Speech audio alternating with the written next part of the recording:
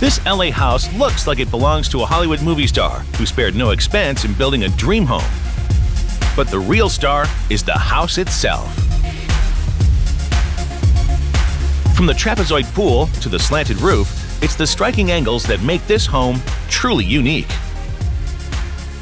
There's no right angles. The, everything is designed so that one can move around the spaces very easily.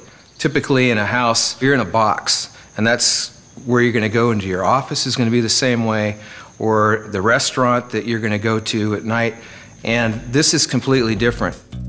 The tennis court sits next to the main home, which is in the shape of a large triangle, with another triangle just below it. A canopy covers where the two blocks meet. If the house looks familiar, it should. It's been in movies like The Big Lebowski and Charlie's Angels Full Throttle. This movie star of a home was originally designed by architect John Lautner in 1963. Mega basketball fan and friend to the stars, Jim Goldstein, bought it in the 1980s and got Lautner's team to work flowing water into the design. From the entrance, the house delivers a powerful performance.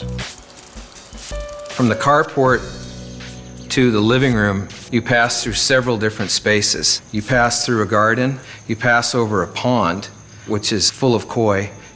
Once you get into the living room, then the space opens up and you're standing virtually outside in the view.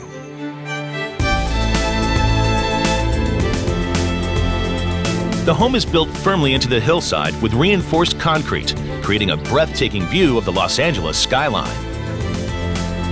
And the roof? Those tiny skylights are actually 750 drinking glasses.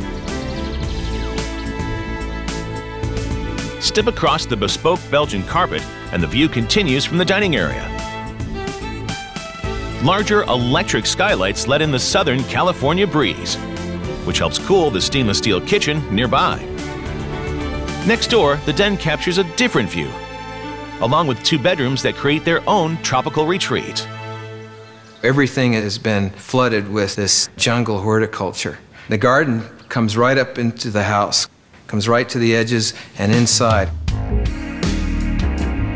Dark wood and green and gray colors give the home a natural, earthy feel. A custom stairway leads to the lower level, first to a deck with built-in concrete furniture, and then to the master bedroom. The star of this room is clearly the vista. The triangle sofa sits slightly lower than the bed, so it doesn't block that view. These windows open to let air in, and these, they stay fixed to keep the water out. The master bedroom has three windows that allow one to look into the pool.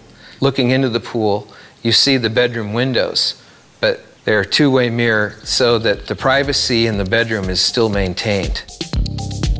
Walk past the wardrobe and there's a glassy bathroom. There's even a see-through glass sink for a wash with another unobstructed view. Outside, there's a full-size tennis court. And the custom teak deck hides another outdoor treat. From its tight-angle roof to its wide-angle view, this is a home in the heart of Hollywood that is itself a star.